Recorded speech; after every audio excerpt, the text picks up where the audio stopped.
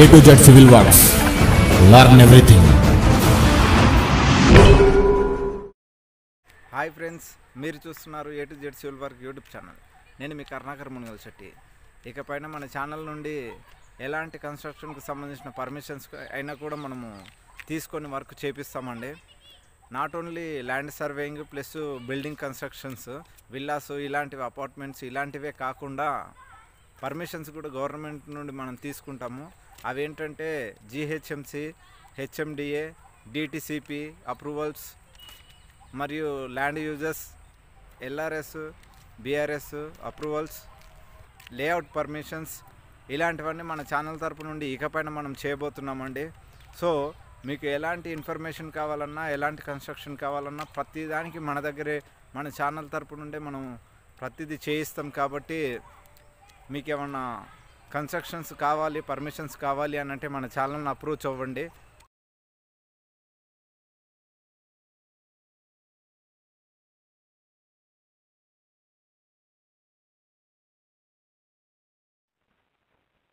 Hello friends. Today we are going to uh, learn or to, today we are going to discuss about the uh, project management.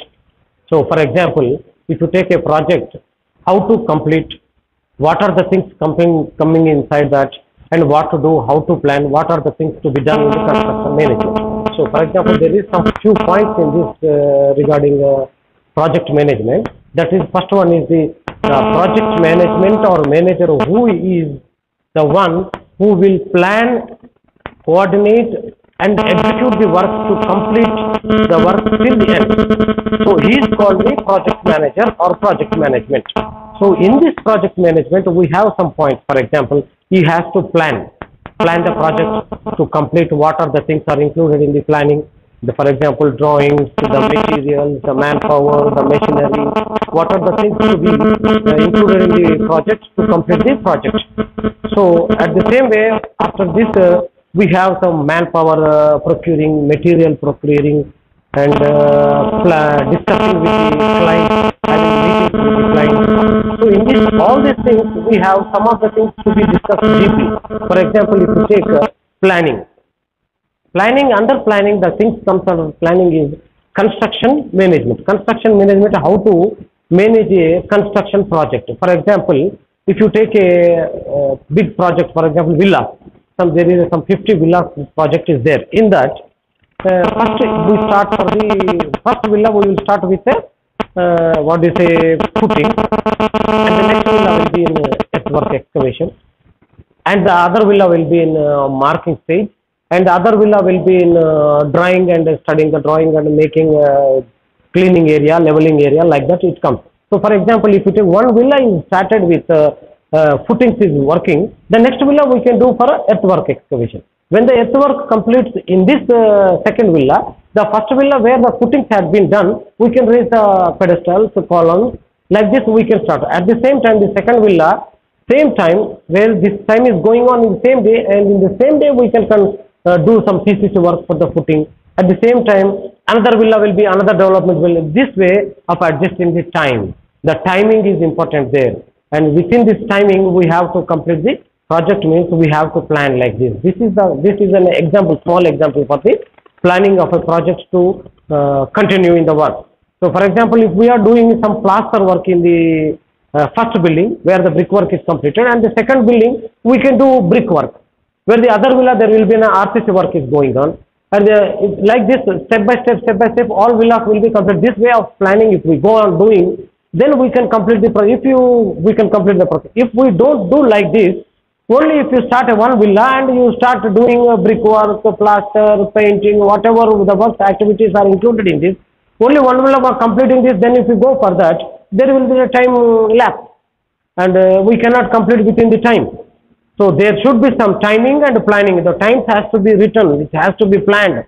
The planning schedule has to be prepared. How to work in which month and which date by what date the activities. Some of the activity has to be completed in villa number one. Villa number two. What are the things to be completed? What items to be completed? And what is the next item coming? So for coming items, uh, having a meetings with the client to discuss the material to be used. For example, if it, there is an SS railing glass railing, the paint system, what are the paints they required, what are the items they required in the kitchen, what are the tiles required in a toilets and the flooring. Flooring, some of them use granite, some of them use uh, ceramic tiles or vitrified tiles like that. So this is the way of uh, procuring the material to have meeting with the client and take the list of the material and then procure the material, then we can go for work. So this way of planning is very important in the planning. Planning it has to be done first. Now, uh, for example, while procuring the material, in the material there will be different, uh, in one item only there will be different types of qualities of material. So in that we have to check the quality of material. Uh, for example, uh, cement, steel, uh, paint, tiles, granite, marble. In this we have different types of uh, materials. In this we have to select and check the quality which suits to our site and which is uh, given by the client. At the same time, doors, there will be a number of doors, teak wood doors, flush doors, uh, no open doors, like the different types of doors are there.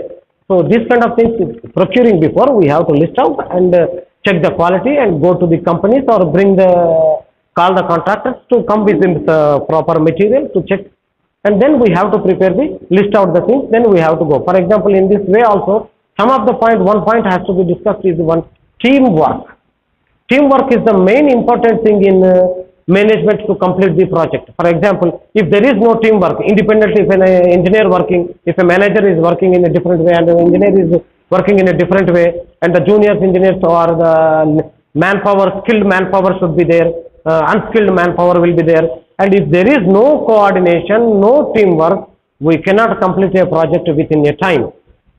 So the timing is very important in the management to complete the project within the stipulated time.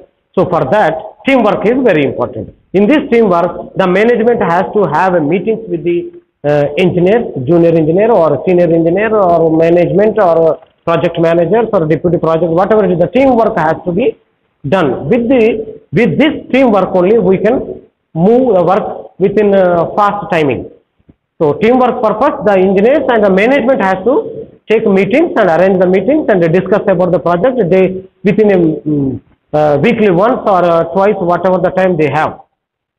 So this teamwork is very important and that the procuring the material and procuring man, manpower. Manpower means the labor. For example, if you take uh, masons, uh, carpenters, electricians, plumbers, uh, like this, so many people are there. Uh, teamwork should be there with them. When you are procuring this skilled labor, they have to be checked and we have to check and take an interview or we have to check their quality of work where they are, uh, they know the knowledge of uh, doing skilled work or not.